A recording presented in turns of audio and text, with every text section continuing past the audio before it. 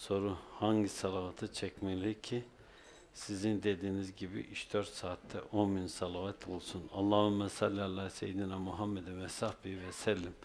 Allahümme salli ala seyyidina Muhammedin ve sahbihi ve sellem.